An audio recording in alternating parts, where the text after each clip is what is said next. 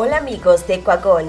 Tigres se enfrentará este miércoles la ida por los cuartos de final de la CONCACAF Champions League al Motagua de Honduras en el Estadio Olímpico Metropolitano, un partido que se llevará a cabo a las 18 horas en la Ciudad de México. El equipo felino accedió a los cuartos de final del certamen gracias al gol de visitante ante Orlando City. Tigres no supo romper el empate a ceros en el volcán ante el conjunto de la MLS y tuvo que cerrar su pase a esta ronda en el Orlando City El equipo regiomontano pasa por una racha negativa desde que se anunció la llegada de Chema Ruiz al plantel. Tigres lleva tres partidos consecutivos sin ganar el torneo Clausura 2023 ante América por 0-2, frente a Rayados por la mínima en el Clásico Regio y ante Toluca en la jornada 12 por 3-2. Estos resultados tienen al conjunto regiomontano en el séptimo puesto de la clasificación general con 21 unidades sumadas al momento. Motagua marcha en la quinta posición de la Liga Profesional de Honduras y recibirá Tigres después de dos derrotas consecutivas en su liga ante Olimpia por 3-1 y Olancho por 1-0. Tras dicho esto, la prensa centroamericana analizó este partido. Escuchemos. Eh, Chuy vuelve a decir, imagínese don Alex que el Motagua de Honduras vaya a eliminar a Tigres con la regla del gol de visita, como lo hizo en Pachuca, creo yo. Mire, con todo respeto, a mí me preocupa el partido que podamos ver entre Motagua y Tigres. Porque Motagua, con lo que demostró el pasado fin de semana en contra de Olimpia, mi estimado Chuy, eh, deja muchísimo que desear, ¿eh? muchísimo que desear. Y no es que soy negativo, no es que estoy despotricando, no es que estoy haciendo leña de árbol caído, sino que simple y sencillamente a mí me, eh, yo pienso de que Motagua, si así le va a jugar al, a Tigres, se puede llevar cuatro o cinco goles fácil. ¿eh? En el marco, línea de cuatro del sistema defensivo de derecha a izquierda con Christopher Menéndez, eh, Marcelo Pereira, Raúl Santos y Wesley Deca por izquierda. En la media cancha por de, derecha a izquierda con Gaspar Tiberio, con Jonathan Núñez, con Juan Delgado y con Iván el Chino López. Adelante con Lucas Campana y con Eddie Herrera. Así estaría saliendo el equipo de Motagua el día de mañana, que sabemos viene de perder el clásico del fútbol capitalino allá en territorio hondureño. ¿Cómo saldría el equipo de Tigres? realmente el equipo de Tigres tiene una gran posibilidad de ganar, va con todo.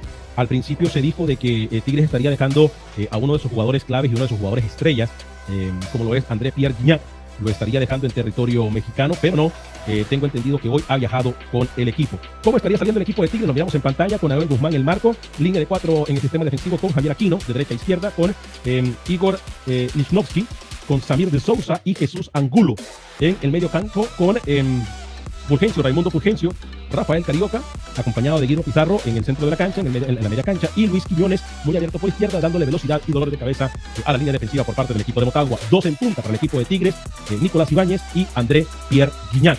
Una de las variantes que teníamos y que manejábamos aquí en el equipo de Acción Centroamérica es, eh, si no iba André Pierre Guignac, eh, obviamente la posibilidad de que jugara al aire, así que interesante lo que viene por parte del equipo eh, de Tigres. Obviamente tenemos, no podemos olvidar que eh, en la banca estaría dejando a Nicolás Federico López, que es el jugador uruguayo que también puede salir como parte del equipo titular del equipo de Tigres. Y de acuerdo contigo, Alex, creo que va a estar difícil. Híjole, yo quisiera que Motagua por lo menos sacar un buen resultado, pero definitivamente creo que esta vez va a estar más difícil para Motagua, Alex. Y aunque con respecto a Atlas, sí creo yo que el equipo norteamericano puede sacar un buen resultado, Alex. ¿Usted de verdad cree que el equipo de Atlas, o mejor dicho, usted de verdad cree que el Philadelphia Union le puede ganar Atlas? Yo creo que sí, Ale. Recuerda que el Olimpia le ganó a este equipo, aunque lógicamente entiendo que, que, no, que Atlas vaya mejor precavido, que no le vaya a pasar lo mismo que le pasó con el Olimpia, pero tampoco esos equipos son el Olimpia. Yo pienso de que, de que este equipo puede sacar un buen resultado acá en Estados Unidos y, y a ver cómo le va allá, porque allá es difícil jugar. Definitivamente que Motagua le va a tocar cerrar allá en México, a este equipo de Estados Unidos le va a tocar cerrar en México y es muy, pero muy difícil jugar contra el equipo mexicano, que definitivamente son, son buenos equipos. Sí, Oscar, definitivamente que sí. Yo le voy a ser bien sincero. Yo no veo cómo Motagua eh, eh, pueda ganarle al equipo de Tigres. Le, soy bien sincero, eh, por más que en Y no es que estoy hablando mal de Motagua, no es que estoy pidiendo mala leche de Motagua, estoy simple y sencillamente siendo realista. Si usted me lo pregunta y de corazón, creo Camilo utilizó una palabra cuando jugó Nicaragua la semana pasada. Y ya vamos a hablar con Camilo. Es más, tengo, tengo Camilo ya, tengo entendido producción que Camilo ya está listo.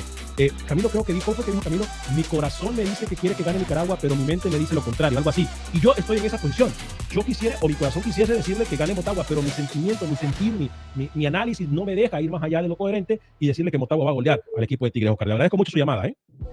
Saludos, Alex, y no le pongan mucha mente a esta gente que lo único legal para mí, para Oscar, que han ganado es los dos eh, campeonatos sub-17 y, y, el campeonato este que ganaron allá del, del, del 23 de la Olimpiada, ¿recuerda? Bien, bien, no, pero, pero, yo no les quito crédito, hay que darle crédito a quien crédito merece. Gracias, Oscar, fuerte abrazo.